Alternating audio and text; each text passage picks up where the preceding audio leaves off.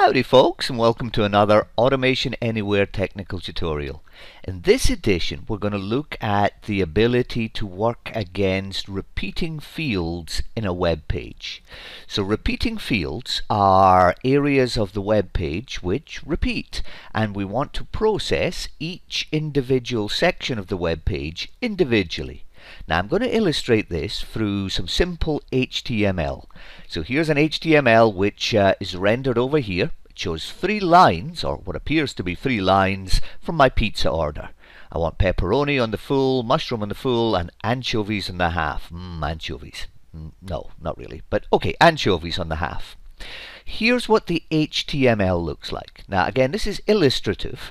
Obviously, we could jazz up this page with colors and borders and images, but somewhere in the page there would be the data of what I'm ordering on my pizza. Now on my pizza I've only got three items, but you could imagine I've just got one item or I could have ten items. I could have lots and lots of different types of items. So what I want to do is have automation anywhere, bring up this page, identify how many items I've got on the uh, on the order and for each item extract it and do something with it. So that's the underlying puzzle. So this is not Excel data, this is not XML data, this is a web page where the web page contains repeating content. So this is what the web page looks like from the web page programmer's perspective. So now let's flip over and look at Automation Anywhere and see how we can start parsing that kind of data. So here's the solution and I'm going to take you through it step by step and then we'll see it run and then we'll talk about it some more. So the first thing we do is we open the target web page. Well, that's nothing more than open a browser and this is my target web page. Okay, nothing special there. Now we get into some interesting things. I have a loop construct. Now the loop is going to loop over each of the items that are on the web page. Now let's pause a second and look at that web page from a DOM data tree perspective. At a high level, this is what the web page looks like as understood by the browser. It's got the body of the web page. In the example, it's a, it's a div, and then the divs break down each division into its own line item for the uh, item being ordered pepperoni, mushrooms, anchovies. So if we want to iterate over each of the items that are ordered on my pizza, what we're really doing is we're iterating over each of the children of this division. So this child represents my pepperoni, this child represents my mushrooms, this child represents my anchovies. If there were more items, there would just be more children of this division. And this is where we use XPath. Now the editor here is a little bit poor. I can't read that in the editor, so let me copy that and put that in a notepad. In a notepad. And we will see what we've got. So what we are iterating over here is the XPath HTML, body, div, and then the current counter in the loop. Now the loop starts at counter number one. So what we're asking is, is there an entry that this expression evaluates to true? So HTML body, the first div, div 1, that is true. Counter increments in the loop, div 2, that is true. Counter increments in the loop, div 3, that is true. Counter increments in the loop, there is no div 4 child of this of the of the div here. So what we end up doing is terminating the loop. So we iterate over all of the children of this div and uh, when we have no more, we end the loop.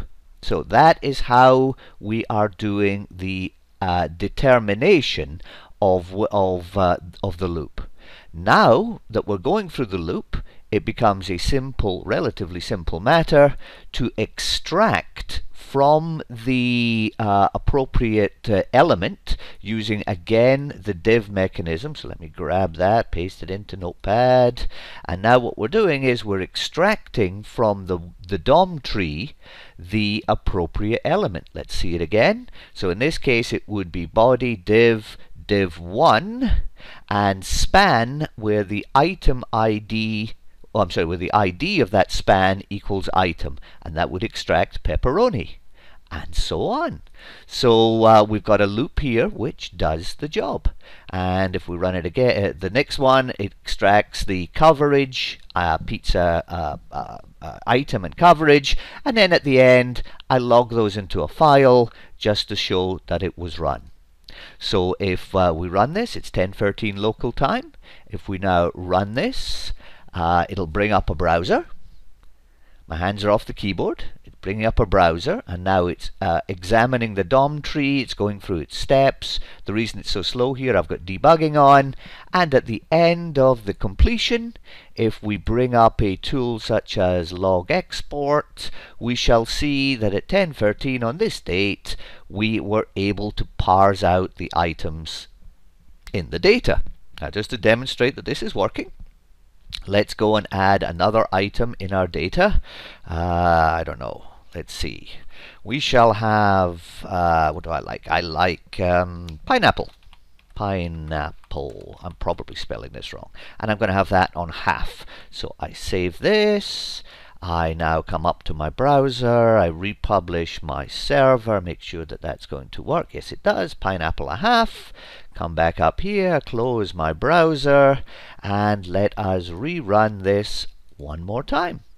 So we run it again. It's going to bring up the browser.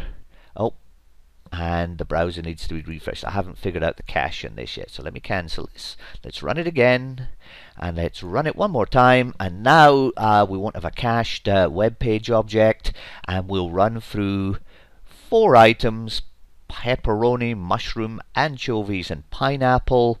Uh, the time is 10.14 and if we look on our log we shall see that we do indeed have pineapple.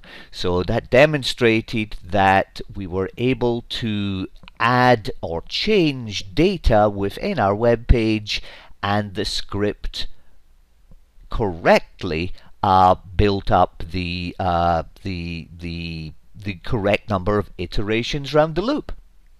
So this was a technical illustration to illustrate the concept of being able to iterate over different parts of your web page.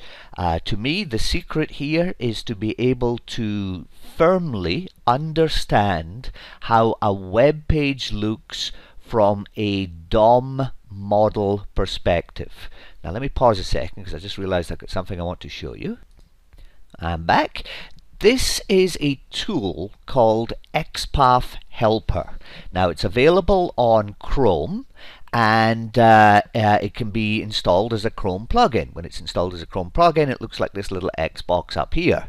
Now what this tool does is if we come over here, here's my web page. Now if I engage this tool we can now hold the shift button down and as I move my mouse over the web page if you look down at the bottom of the screen you are seeing the XPath path to the element which is selected on the screen and these XPath paths are exactly what I use in Automation Anywhere. So although one can, most certainly, deduce the XPath path by knowing the DOM structure or using other tools to go into the DOM structure to figure out the path of your item, this takes out all the guesswork and is such a useful tool, this XPath helper. So using XPath helper in conjunction with Chrome, you can uh, scan, interpret, x-ray your web page to find the actual XPath query that can then be plugged in to the automation anywhere uh, selections for the DOM XPath selector. Anyway, I just wanted to show you that. Uh, hopefully, again, you found something useful, a nice short technical tutorial. Sometimes it's good to see other folks working. And I uh, hope you like this, and I uh, hope to make more of these videos in the future. Thanks for now, guys, and bye-bye.